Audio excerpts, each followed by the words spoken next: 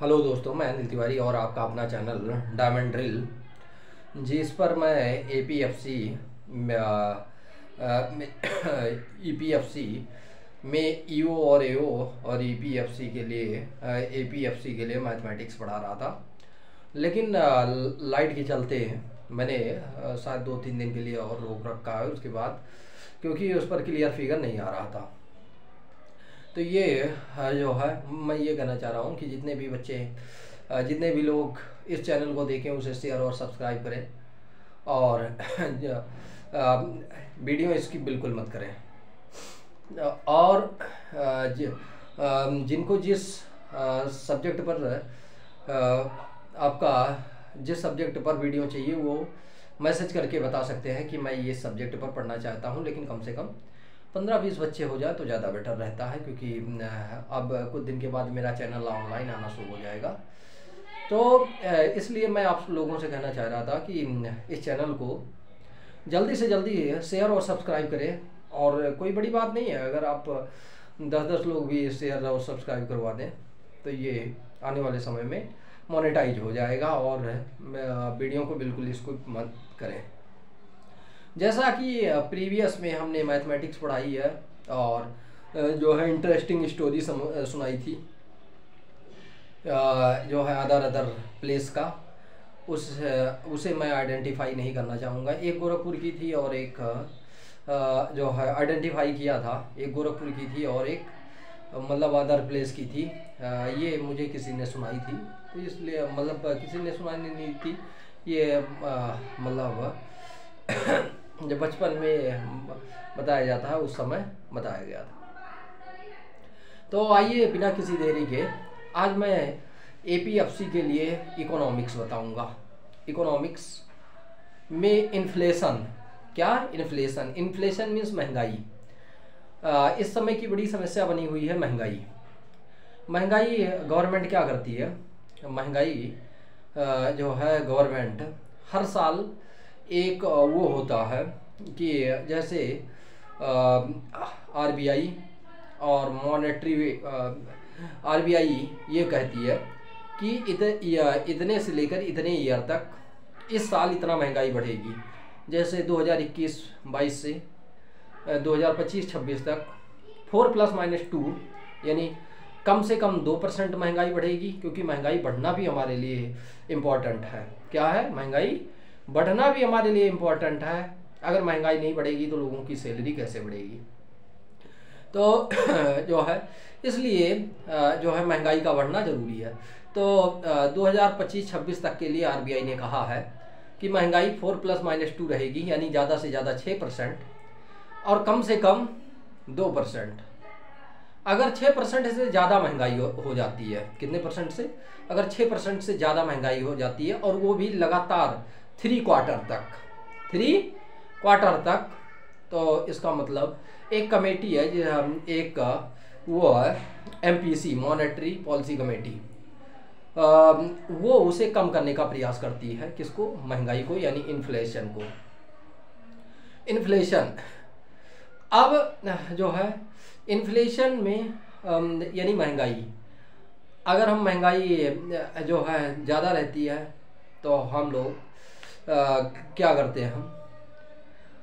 परेशान होते हैं, डिस्टर्ब होते हैं। तो हर एक साल में कितना ज़्यादा जो है, इसमें भी दो प्रकार की होती है। एक W P I whole price index और एक C P I consumer price index consumer price index और होल प्राइस इंडेक्स इस बेसिस पर महँगाई को मेजर किया जाता है। अब इन्फ्लेशन जब हम बता रहे हैं तो यानी महँगाई। अगर आ, कुछ लोग क्या करते हैं जो है आ, किसी चीज़ पर ज़्यादा टैक्स लगा देते हैं तो महँगाई बढ़ जाती है। यानी गवर्नमेंट के द्वारा ज़्यादा टैक्स लगा दिया जाता है या किसी भी चीज़ पर लागत ज़्यादा आ जाती है तो महँगाई बढ़ जाता है। तो इन चीज़ों को देखते हुए महँगाई थ्री टाइप्स की होती है। यानी इन्फ्लेशन ये इकोनॉमिक्स में है। इन्फ्लेशन थ्री टाइप्स का होता है। कौन कौन सा इन्फ्लेशन है? पहला है demand pull inflation demand pull inflation का मीन्स क्या होता है? मान लो डिमांड पुल इन्फ्लेशन का मीन्स क्या है? मान लो कंपनियाँ कोई चीज़ कम बना पा रही हैं और उसकी डिमांड ज़्यादा है। कोई चीज़ सौ है और ख़रीदने वाले थाउज़ेंड लोग हैं। अब सबको वो चीज़ चाहिए कि वो चीज़ सबको चाहिए। तो वो क्या करेंगे? कोई कहेगा कि एक काम करो, ये दस रुपये में दो। तो अगला कहेगा, नहीं, मुझे चाहिए, मुझे बारह में दे दो। तीसरा कहेगा, मुझे फिफ्टीन में दे दो। चौथा कहेगा ट्वेंटी में। यानी सामान जब कम हो, क्या हो? सामान कम हो और उसके ग्राहक यानी कंज्यूमर ज़्यादा हो। तो उसे कहा जाता है डिमांड डिमांड बढ़ गई। अब मान लो सब्ज़ी आपके मार्केट में है कोई सब्ज़ी कम है, लेकिन उसे खरीदने वाले बहुत ज़्यादा हैं। क्या? बहुत ज़्यादा हैं। तो अगर बहुत ज़्यादा हैं तो लोग क्या करेंगे? उसकी बोली, जैसे बोली नहीं लगाते बोली लगाते हैं तो उसकी बोली जो है लगाएँगे कि इतने में मुझे दे दो, इतने में मुझे दे दो। तो यानी जब कोई सामान कम होता है और उसके लिए कंज्यूमर यानी कौन खरीदने वाले ज़्यादा होते हैं तो उसे डिमांड पुल इन्फ्लेशन कहा जाता है। तो उस समय महँगाई बढ़ जाती है। आप कोई भी सामान उठा लीजिए। आप जो है जैसे कि दीपावली आती है, उसमें खोया ले लीजिए। खोया लोग अलग अलग रेट पर बेचते हैं।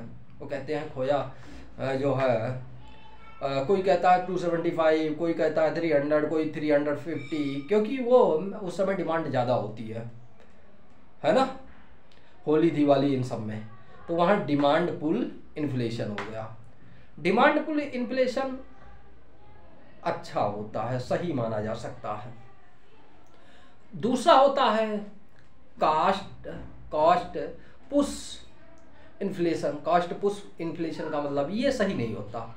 कास्ट पुश यानी यानी कोई चीज़ बनाने में अगर हमारा खर्चा ज़्यादा हो रहा है, कोई भी कंपनी है, मान लो ये मोबाइल बनाने में पहले कंपनी का जो टोटल एक्सपेंडिचर यानी खर्चा छः हज़ार आता था आठ हज़ार आता था अब उसके इंस्ट्रूमेंट सारी चीज़ें महँगी हो गई। क्या हो गई? महँगी हो गई। तो उसे बनाने में क्या होने लगा?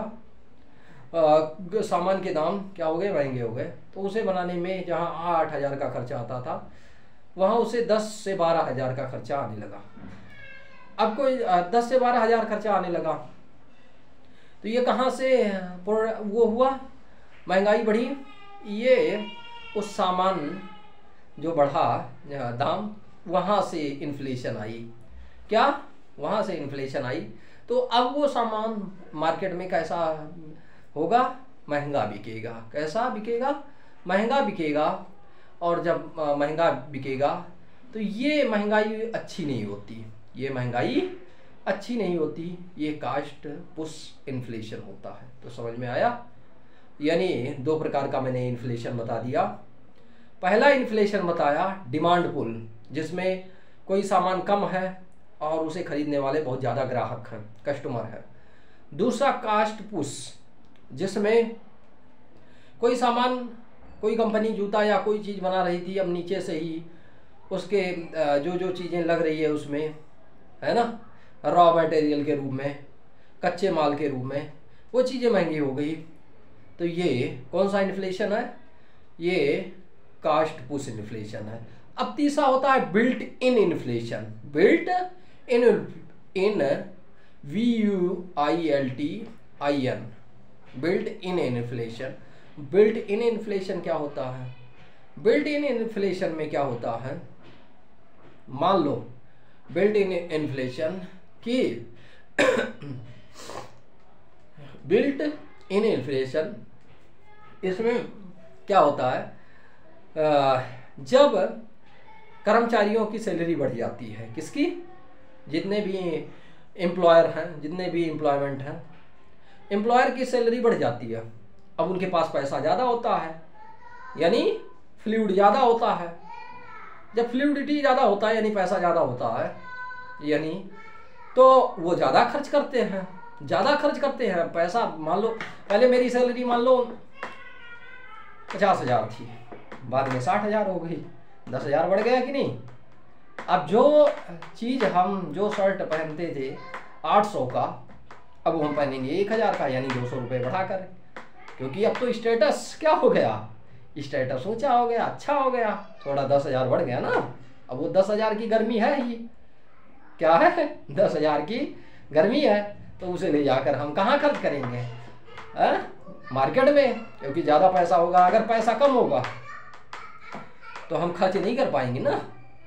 लेकिन अगर पैसा है तो जो है, हम हर एक चीज़, जो चीज़ जैसे पहले पचास हज़ार थी, अब एक लाख रुपए सैलरी हो गई। तो हमारे पास टू टाइम्स हो गया, यानी कर्मचारी का सैलरी की सैलरी बढ़ गई। अब जब ये सैलरी बढ़ गई तो जो सामान हम, क्या, तब महँगी चीज़ें ज़्यादा बिकने लगेगी। महँगी चीज़ें ज़्यादा बिकने लगेगी तो उससे इकोनॉमिक ग्रोथ भी होगा और वो यानी महँगाई भी होगी। तो ये समझ में आ गया? क्या? कि सबसे पहले इन्फ्लेशन बताया। इन्फ्लेशन दो टाइप्स का होता है। इन्फ्लेशन मीन्स महँगाई। महँगाई आरबीआई डिनोट वो करती है। जैसे 2025-26 तक के लिए मैं दोबारा रिवीजन करवा रहा हूँ। 2025-26 के लिए गवर्नमेंट ने कह रखा है कि जो महँगाई होगी, वो फोर प्लस माइनस टू होगी। फोर प्लस माइनस टू यानी कम से कम महँगाई, जो सामान पिछले साल या इस साल सौ रुपये का रहेगा, अगले साल एक सौ दो, यानी दो परसेंट बढ़ गया। फोर प्लस माइनस टू और ज़्यादा से ज़्यादा छः छः रुपये यानी जो सामान आपका सौ रुपये में था, वो एक सौ छः रुपये हो जाएगा। ये दो बेसिस पर मेजर किया जाता है।